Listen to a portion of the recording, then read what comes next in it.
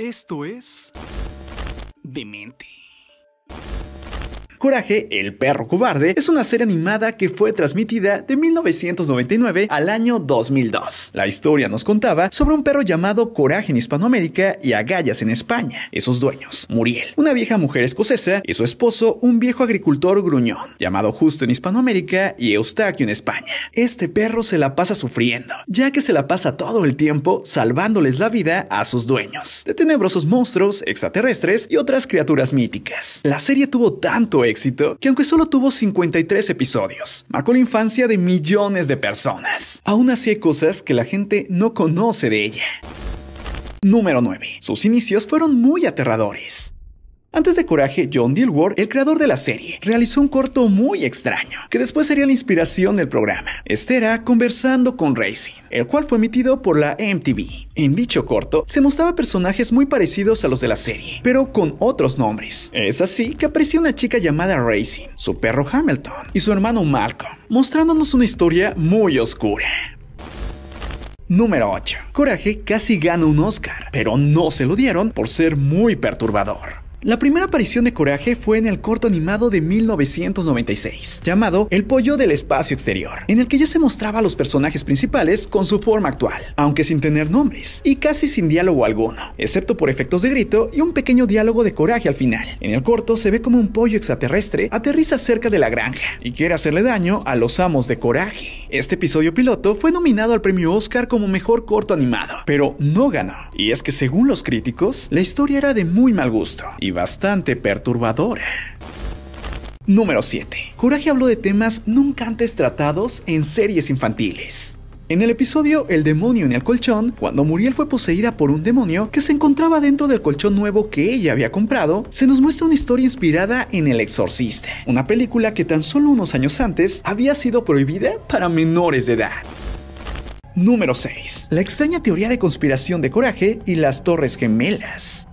Existe una teoría conspirativa muy perturbadora acerca de Coraje. Y es que en el episodio, el hombre de arena duerme, cuando Coraje está leyendo el interminable libro titulado La guerra y la paz. Él dice, y el señor de la barba tiró las dos torres, y el otro señor ya no tenía alfiles, y no podía ganar. Y luego después de esto, se duerme. Para muchos, lo que Coraje leyó es una clara referencia a los atentados del 11 de septiembre del año 2001.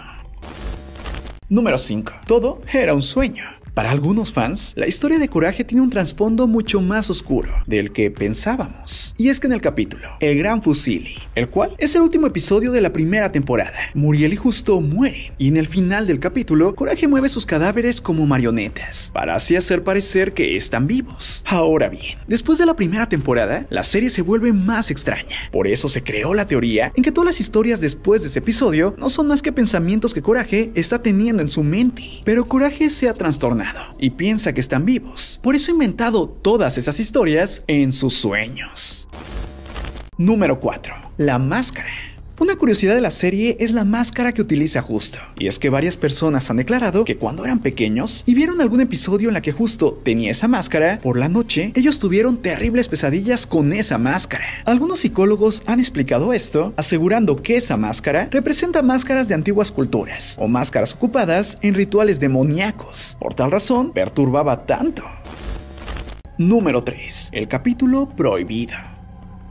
El episodio La Máscara tocaba temas tan delicados como el machismo, el lesbianismo, la prostitución y el maltrato, entre otros más. Por eso fue censurado en Estados Unidos. Sin embargo, fue transmitido y doblado a todos los idiomas donde llegaba la serie. El capítulo contaba la historia de una extraña mujer, la cual odia a los perros, llamada Kitty. Ella aparece un día en la granja. Lo extraño es que lleva una máscara. Estando en la casa, ella empieza a contarles que su mejor amiga, llamada Bonnie, se juntó con un gángster llamado Mad Dog, que la trata como si fuera su esclava y cuando ella trató de huir con Bonnie, él la amenazó, y así ya no pudieron escapar. A partir de ahí, Coraje intentará liberar a Bonnie para que Kiddy se vaya de la casa con ella, ya que él cree que Kiddy le va a hacer daño a Muriel.